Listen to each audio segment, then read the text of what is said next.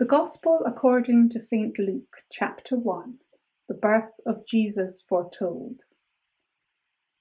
In the sixth month, the angel Gabriel was sent by God to a town in Galilee called Nazareth, to a virgin engaged to a man whose name was Joseph of the house of David. The virgin's name was Mary. And he came to her and said, Greetings, favored one, the Lord is with you. But she was much perplexed by his words and pondered what sort of greeting this might be. The angel said to her, Do not be afraid, Mary, for you have found favor with God. And now you will conceive in your womb and bear a son, and you will name him Jesus.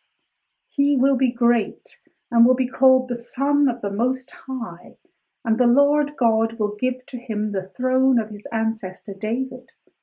He will reign over the house of Jacob forever, and of his kingdom there will be no end. Mary said to the angel, How can this be, since I am a virgin? The angel said to her, The Holy Spirit will come upon you and the power of the Most High will overshadow you. Therefore, the child to be born will be holy. He will be called Son of God. And now, your relative Elizabeth, in her old age, has also conceived a son, and this is the sixth month for her who was said to be barren. For nothing will be impossible with God.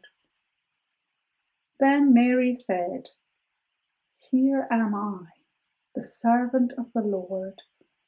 Let it be with me according to your word. Then the angel departed from her.